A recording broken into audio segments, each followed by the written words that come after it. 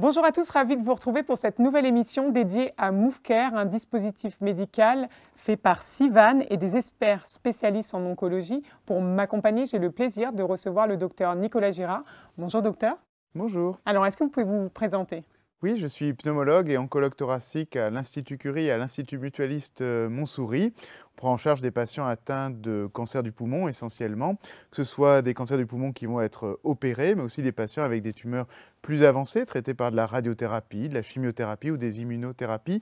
L'idée est de couvrir l'ensemble du parcours euh, de soins de nos malades.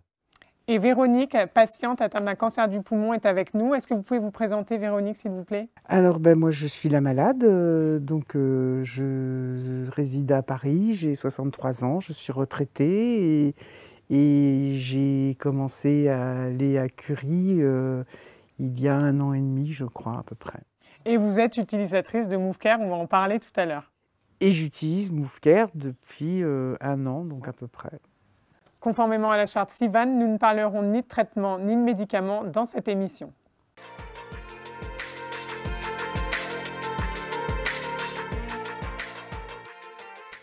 Bon, peut-être pour rentrer dans le vif du sujet, docteur, est-ce que vous pouvez nous dire ce qu'est l'application MoveCare et comment ça fonctionne? Alors l'application euh, MoveCare, c'est une application qui permet un suivi euh, des patients à distance. Donc on est dans un concept de télémédecine en fait, où euh, les patients vont répondre à un questionnaire hein, avec des questions relativement simples sur leurs symptômes, sur leur poids, l'existence d'une fièvre, et puis du texte libre. Ce questionnaire est rempli de façon hebdomadaire finalement, et euh, il y a un scoring qui est appliqué en fonction de ces réponses qui va conduire à déclencher ce qu'on appelle une alerte. C'est-à-dire que euh, s'il y a de nouveaux symptômes qui apparaissent, s'il y a des choses qui sont considérées comme étant euh, pertinentes par cet algorithme, on va recevoir, l'équipe médicale en charge du malade va recevoir une alerte disant, ben voilà, un de vos patients a modifié ses symptômes euh, cette semaine. Et donc, on va aller euh, regarder qu'est-ce qui se passe, éventuellement contacter le patient et ben, organiser une prise en charge s'il y a lieu d'en organiser une. Donc, c'est un dispositif qui fait un petit peu le lien entre le patient et son équipe médicale indépendamment euh, de consultations euh, programmées, d'examens euh, réalisés, indépendamment d'un coup de téléphone, hein, qui est aussi une façon habituelle de, communiquer, indépendamment aussi de passage par un médecin traitant, un médecin généraliste finalement, pour s'il y a quelque chose qui, est déclenché, un symptôme nouveau ou, pas d'ailleurs. Hein. Ce qui est l'un des points importants, hein, c'est que cette application, euh, elle, a, elle, est très particulière, parce qu'il y a des centaines d'applications qui existent. Elle est très particulière parce qu'elle a fait l'objet d'une évaluation par, euh, en France, la Haute Autorité de Santé. Donc elle a une autorisation de mise sur le marché comme un médicament, finalement. C'est une application que l'on prescrit sur une ordonnance hein, euh, et elle est remboursée par la Sécurité sociale. Donc on, on a ici une application, et c'est la seule, qui euh, est comme un médicament, quelque chose que l'on va prescrire et qui va être utilisé à la fois par le patient et par l'équipe médicale. Alors et vous, Véronique, euh, vous, l'avez prescrit tout de suite à, Véronique? Comment, comment ça s'est passé?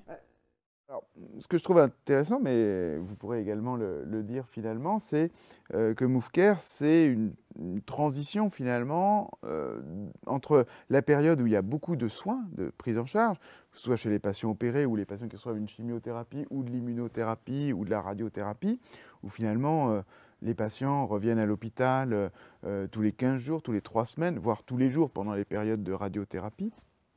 Et puis, bah, le traitement se termine et on rentre dans une phase de suivi pour continuer à, voir l'effet des traitements et détecter une éventuelle rechute, qui est quelque chose qui est malgré tout assez fréquent dans le cancer du poumon parce que c'est un cancer agressif. Et donc comment, euh, comment euh, nous expliquer comment fonctionne MoveCare, C'est donc une, un questionnaire euh, hebdomadaire que, en tant que patient, je reçois donc en début de semaine, tous les lundis matins.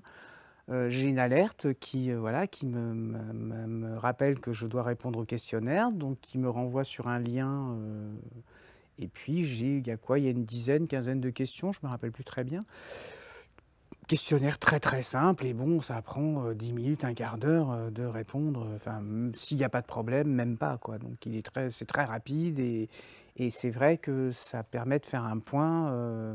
bah quand même chaque semaine, c'est pas mal. Hein, faire un point hebdomadaire sur son état, c'est quand même. Et peut-être aussi de porter attention à vos symptômes, parce que c'est peut-être pas quelque chose que l'on fait forcément systématiquement. Euh, ouais, peut-être, vous avez raison. Donc MoveCare améliore la visite euh, médicale et fait gagner du temps. Alors, euh, en tout cas, améliore, oui, le suivi des patients, puisqu'on fait un suivi de nos patients là où il n'y en a pas, puisque normalement, on voit les patients à des intervalles réguliers, mm. plutôt tous les trois mois, tous les six mois. Donc là, on rajoute effectivement une interaction hebdomadaire. Et puis d'autre part, lorsque le patient arrive à la consultation, est un patient qui a rempli le MoveCare sur euh, plusieurs euh, semaines finalement, euh, en préparant la consultation, on peut avoir accès à l'ensemble des questionnaires répondus, même s'il n'y a pas eu d'alerte, et ça permet de voir justement bah, l'évolution des choses et des symptômes, s'il en reste malgré tout. Donc c'est vrai qu'on arrive à la consultation en sachant déjà s'il y a eu un problème ou pas. Et donc, ça permet d'être un peu plus euh, focalisé sur euh, ce qui se passe réellement. Donc, effectivement, c'est une sorte de, canal de communication supplémentaire en plus du téléphone, en plus de la consultation, et sur des points sur lesquels finalement euh, le patient n'avait pas forcément porté son attention euh, de façon euh, aussi rapide en fait. Donc effectivement, on, resserre en fait le, lien entre le patient et son équipe médicale. Docteur, est-ce que vous recommanderiez à d'autres professionnels de santé d'utiliser MoveCare? Alors aujourd'hui, MoveCare c'est pour les cancers du poumon finalement. Il y a effectivement une vraie question, c'est comment on transpose ce concept-là finalement dans d'autres établissements, parce que bon, à l'Institut Curie, on est relativement bien organisé, euh, on a la chance d'avoir des infirmières de pratique avancée, euh, voilà, on est nombreux, donc euh, globalement, ça ne nous dérange pas de suivre plusieurs dizaines, voire quelques centaines de patients sous MoveCare. Véronique, est-ce que vous pensez que la communication avec les soignants vous a aidé grâce à MoveCare Moi, j'avais une très bonne, très, très bonne communication déjà en amont. Depuis le début. D'accord mais ça peut. Oui, parce qu'on on dit que 82% des, patients utilisateurs de MoveCare, ça a amélioré leur communication avec, euh, avec les soignants euh, grâce à, l'application. C'est vrai qu'avec MoveCare, on a une application dont l'intérêt scientifiquement est prouvé. Donc ça, c'est quand même très très différent de toutes les autres applications qui existent. C'est-à-dire que MoveCare est allé au bout d'une démarche qui est une démarche euh, identique à celle d'un médicament. Et ça, c'est, je pense, vraiment ce, qui, ce, qui, renforce l'intérêt de l'application et qui fait que, bah, comme tout médicament qui est indiqué dans une maladie ou dans une situation précise, MoveCare devrait être prescrit à tous les patients qui sont éligibles. Alors effectivement, il y a des enjeux organisationnels, il y a des enjeux euh, d'évaluation. Euh, c'est compliqué, mais on est en bonne marche pour que, pour devienne effectivement une solution qui soit distribuée et, appliquée et utilisée par tous les oncologues thoraciques. Merci à tous les deux pour euh, vos réponses, euh, c'était très clair. Merci à tous de nous avoir suivis. N'hésitez pas à partager cette vidéo et à très vite.